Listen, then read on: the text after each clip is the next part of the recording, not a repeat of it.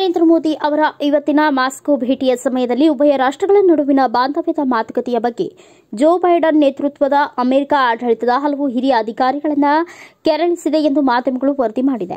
ತಮ್ಮ ಎರಡು ದಿನಗಳ ಭೇಟಿಯ ವೇಳೆ ಪ್ರಧಾನಿ ಮೋದಿ ಅವರು ರಷ್ಯಾವನ್ನು ಭಾರತದ ಸರ್ವಕಾಲಿಕ ಸ್ನೇಹಿತ ಎಂದು ಬಣ್ಣಿಸಿದರು. ಅಲ್ಲದೆ ರಷ್ಯಾದ ಅತ್ಯುನ್ನತ ನಾಗರಿಕ ಪ್ರಶಸ್ತಿಯನ್ನು ಸ್ವೀಕರಿಸಿದ ಮೋದಿ ವ್ಲಾಡಿಮಿರ್ ಪುಟಿನ್ ಅವರ ಎರಡು ದಶಕದ ಆಡಳಿತದಲ್ಲಿ ಉಭಯ ದೇಶಗಳ ದ್ವಿಪಕ್ಷೀಯ ಸಂಬಂಧ ಮತ್ತಷ್ಟು ಸದೃಢವಾಗಿದೆ ಎಂದು ವಿಶೇಷ ಮೆಚ್ಚುಗೆ ವ್ಯಕ್ತಪಡಿಸಿದರು. ವಾಷಿಂಗ್ಟನ್ನಲ್ಲಿ ಜುಲೈ ಒಂಬತ್ತರಿಂದ ಜುಲೈ ಹನ್ನೊಂದರವರೆಗೂ ನಡೆದ ನ್ಯಾಟೋ ಶೃಂಗಸಭೆಯಲ್ಲಿ ನರೇಂದ್ರ ಮೋದಿ, ರಷ್ಯಾ ಭೇಟಿ ಹಾಗೂ ಉಭಯ ನಾಗರಿಕರ ಮಾತುಕತೆಗಳ ಬಗ್ಗೆ ಅಮೆರಿಕದ ಹಿರಿಯ ಅಧಿಕಾರಿಗಳು ಬೇಸರ ವ್ಯಕ್ತಪಡಿಸಿದ್ದಾರೆ ಎಂದು ವರದಿ ಹೇಳಿದೆ.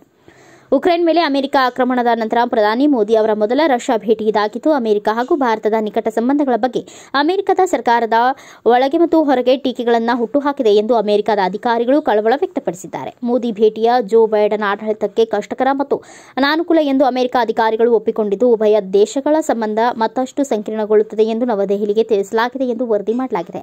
ಅಮೆರಿಕದ ರಾಯಭಾರಿ ಎರಿಕ್ ಗ್ಯಾಸರ್ಟಿ ಕೂಡ ಹಿಂದಿನ ದಿನ ನವದೆಹಲಿಯಲ್ಲಿ ಪತ್ರಿಕಾಗೋಷ್ಠಿಯನ್ನು ಉದ್ದೇಶಿಸಿ ಮಾತನಾಡಿ ಪ್ರಧಾನಿ ಮೋದಿ ಪುಟಿನ್ ಭೇಟಿಯನ್ನ ಪರೋಕ್ಷವಾಗಿ ಟೀಕಿಸಿದರು. ಭಾರತವು ಅಮೆರಿಕ ಸ್ನೇಹವನ್ನ ಉದಾಸೀನ ಮಾಡಬಾರದು ಎಂದು ಹೇಳಿದರು.